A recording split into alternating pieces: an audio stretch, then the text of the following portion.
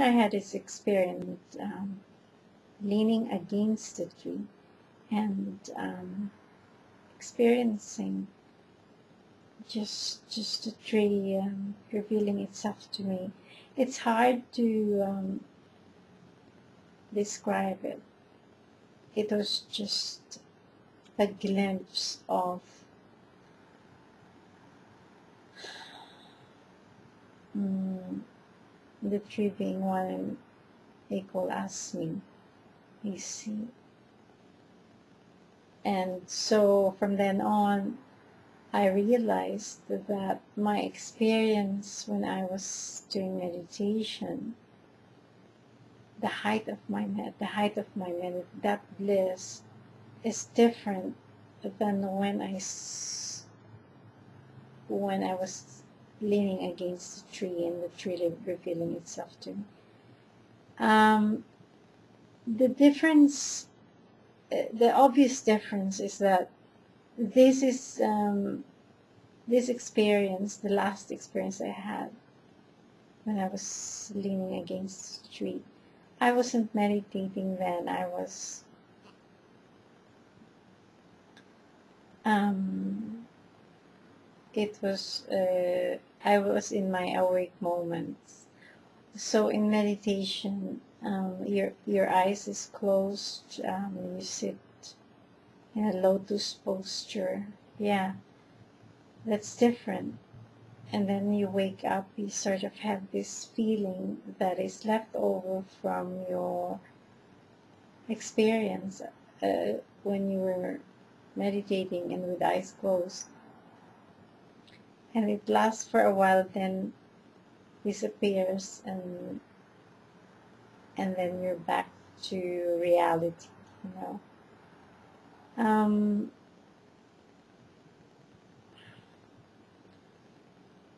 of course, um, because of all the other practices centered around self-realization,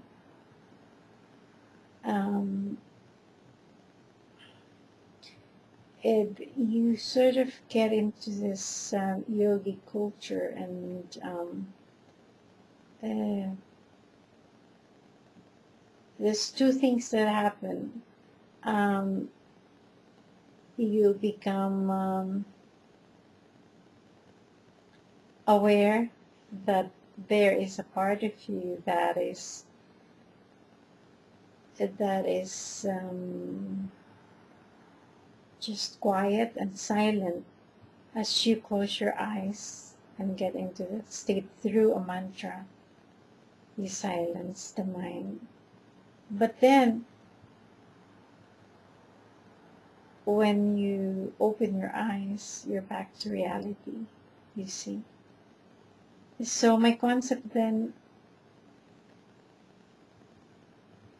um, my concept then of um,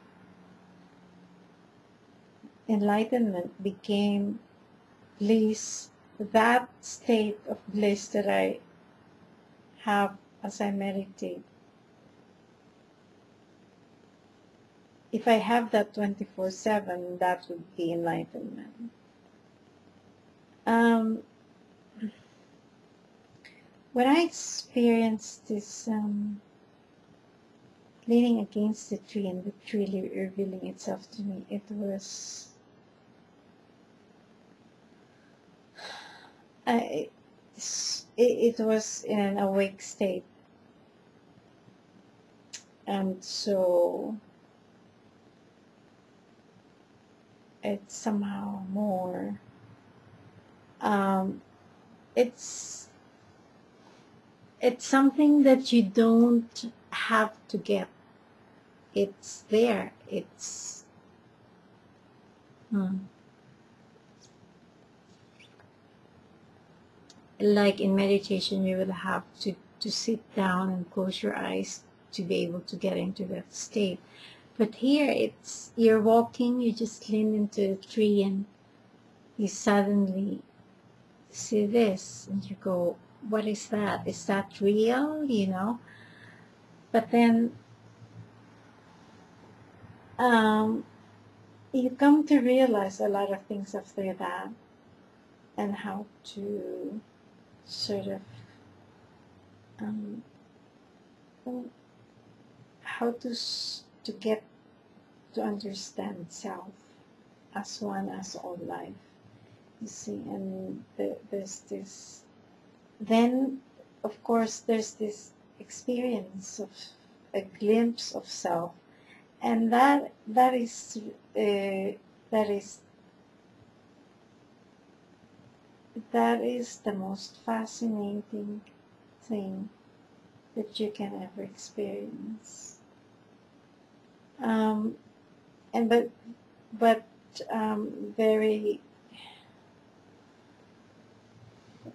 um, it's it's like um, words cannot describe it. Because it's too simple um, and yet um, words cannot describe it. Um, so um, so I what I want to say is that when I say these things as I've seen a glimpse of self and you have your own concept of how it is and, uh, and um, your experience of self in your own way whether you're meditating or not or in your own process in your um, have a closer look and really um, understand what the difference is between self and the mind. What are the characteristics of self? That's a good question to ask.